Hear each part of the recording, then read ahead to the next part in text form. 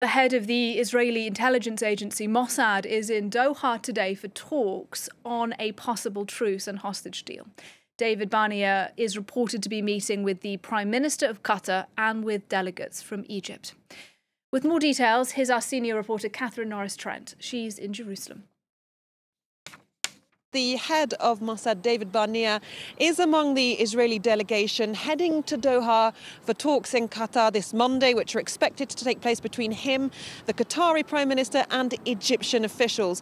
And um, there were a lot of meetings here in Israel before his delegation was given the okay to head off. And it's understood that he has been given a general mandate for extensive negotiation, those coming from unnamed Israeli officials. Now, there are some um, points of security uh, detail which he would have to refer back to Benjamin Netanyahu, the Israeli Prime Minister, and the Israeli Defense Minister Yoav Gallant before being able to sign off on those.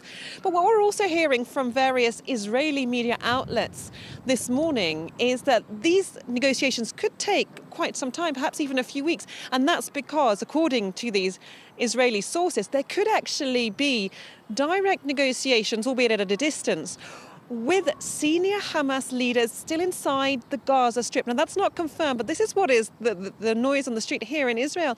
And that therefore communications back and forth clearly with the Gaza Strip are, are very difficult. But there could be some progress here, uh, or it could be long. I mean, we don't know. This is the start of the next round in ceasefire negotiations, but it's the first movement we've seen in quite some time.